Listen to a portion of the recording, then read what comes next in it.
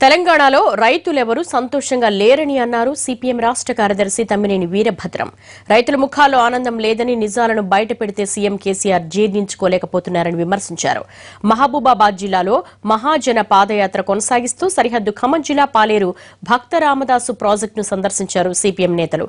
Project redesign పేరుతో అంచనా వ్యయాన్ని పెంచారంటున్న తమ్మినేని వీరభద్రంతో మా ప్రతినిధి Bhupal face to face. Telangana Telangana సమగ్రాభివృద్ధి సామాజిక న్యాయం ఈ రెండు అంశాలపై తెలంగాణలో అభివృద్ధి జరగాలనే అంశంపై సిపిఎం రాష్ట్ర కార్యదర్శి తమ్మినేని వీరభద్రం ఇప్పటికే ఎనభై ఏడు రోజులుగా పాదయాత్ర కొనసాగిస్తున్న పరిస్థితి. ఇప్పటికే ఈ రోజు వరకు వచ్చేసరికి రెండు వేల మూడు వందల కిలోమీటర్ల పైగా ఈ రోజు వరకు పాదయాత్ర కొనసాగుతుంది.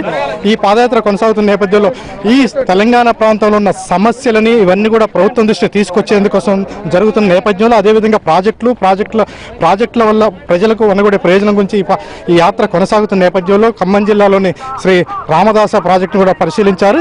ఈ ప్రాజెక్టుల పరిస్థితి అంటే దాదాపుగా ఈ ప్రాజెక్టుల గురించి ఈ ప్రాజెక్టుల గురించి మీరు మాట్లాడుతున్నారు. అదేవిధంగా సిపిఎంను ఉద్దేశించి కూడా కేసీఆర్ కూడా అంటే పరుష పదజాలతో మాట్లాడుతున్నారు. మీరు ఏమంటారు దీనిపై?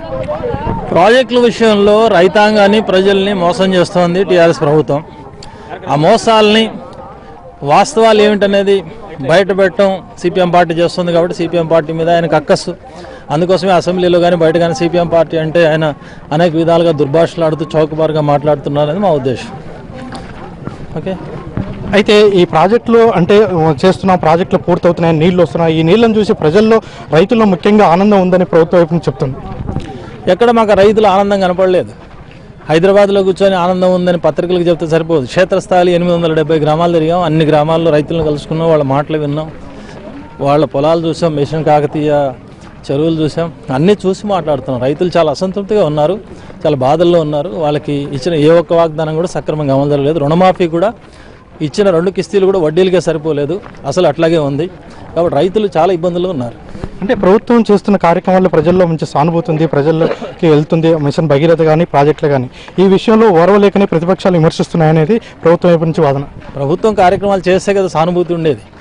ఏ కార్యక్రమాలు చేయలేదనేది మేము చెప్తుంది. ఏం చేశారు వాళ్ళ కార్యక్రమాలు? మిషన్ కాకతీయ లేదు భగీరథ ఇవన్నీ కమిషన్లు కొడుతున్నారు తప్ప ఇంతవరకు ప్రజలకు జరిగిన ప్రయోజనం ఏమి లేదు. మిగతా పథకాలు ఏ ఒక్క పథకం కూడా గ్రౌండ్ కాలేదు. డబుల్ బెడ్రూమ్ ఇల్లు కానీ లేక మూడు ఎకరాల భూమి కానీ కాంట్రాక్ట్ వర్కులను పర్మనెంట్ చేయడం కానీ పీజీ కేజీ విద్య కానీ లేక ఇంకా అనేక రకాల వాగ్దానాలు ఏదైతే ప్రభుత్వం చేసిందో ఏ ఒక్కటి కూడా గ్రౌండ్ కాలేదు ఇంతవరకు. ఎక్కడా ప్రజలు సంతృప్తిగా లేరు పూర్తి అసంతృప్తి ఆగ్రహంతో ఉన్నారు. అయితే గతంలో కూడా మీరు ఖమ్మం జిల్లా విషయానికి వచ్చేసరికి రెండు వేల మూడు వందల కిలోమీటర్ల పైగా రెండు వేల ఆరు వందల కిలోమీటర్ల పైగా పాదయాత్రలు చేశారు. అదేవిధంగా గోదావరి నీళ్ళు కృష్ణా పాలేళ్ళు కలపాలని ఉద్యమం చేశారు. కానీ ఈరోజు కృష్ణా జలాన్ని మళ్ళీ గోదావరిలో కలపడానికి ప్రయత్నం చేస్తున్నారు. ఈ రామదాసు ప్రాజెక్టు కానీ ఇటువంటి ప్రాజెక్టు వల్ల ప్రయోజనం ఉంటుందని భావిస్తున్నారు.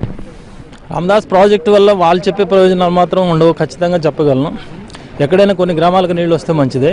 కానీ ఇంకా జాగ్రత్తగా డిజైన్ చేస్తే ఇంకా తొమ్మిది పది గ్రామాలకు నీళ్ళు వచ్చే అవకాశం చాలా స్పష్టంగా ఉంది. రెండోది తొంభై మూడు కోట్లున్న ఈ ప్రాజెక్టు ఇప్పుడు ఆరు వందల కోట్లని చెప్తున్నారు. అంటే భారీ కుంభకోణం జరుగుతుందనేది నా అనుమానం. కాబట్టి దీనిపైన కూడా స్పష్టమైన ప్రకటన వివరణ ప్రభుత్వం ఇవ్వాల్సిన అవసరం ఉంది.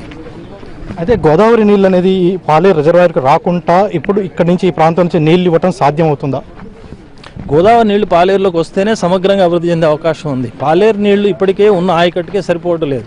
పాలేరు నీళ్ళు తీసుకొచ్చి మళ్ళీ మంచినీళ్ళ పథకాలకు ఇతర సాగునీటి పథకాలకు చెప్పడం అంటే అది ప్రజలు మభ్యపెట్టడం తప్ప వాస్తవంగా అందరికీ కటకట ఏర్పడే పరిస్థితి వస్తుంది భవిష్యత్తులో. కాబట్టి ఆ డిజైన్లే సరైనవి కాదని నా అభిప్రాయం. ఇది దాదాపుగా ప్రాజెక్టుల పేరు మీద ప్రభుత్వం ప్రాజెక్టుల పేరు మీద ఆ ప్రాజెక్టులు నిర్మిస్తున్నామని అవి ప్రజల్లోకి నీళ్ళు వచ్చి రైతులు ఆనందంగా ఉన్నారని చెప్తున్నారని చెప్తున్నారు మొత్తం ఒక వాస్తవ రూపం వాస్తవానికి దూరంగా ఉన్నాయి. కేవలం ఈ ప్రాజెక్టులు ఇంతవరకు ఎక్కడ కూడా నీళ్ళు వచ్చిన పరిస్థితి లేదు. కేవలం ప్రాజెక్టుల పేరు మీద కుంభకోణాలు కాంట్రాక్టుల ప్రయోజనాలు ఆశించి లభిస్తుంది తప్పితే ప్రయోజనం లేకుండా ఉంది. గోదావరి జిల్లాలో కృష్ణాకు వచ్చి అదేవిధంగా అంటే పాలేరుకు వచ్చి పాలేరు ద్వారా అయితేనే ఈ ప్రా- పాలేరు నియోజకవర్గం కానీ ఈ ప్రాంతంలో కూడా సస్యశ్యామలు ఉండే అవకాశం ఉంటుందని తమిళ చెప్తున్నారు.